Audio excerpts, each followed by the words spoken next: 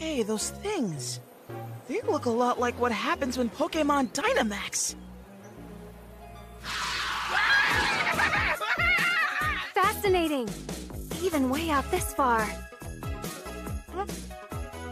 Huh?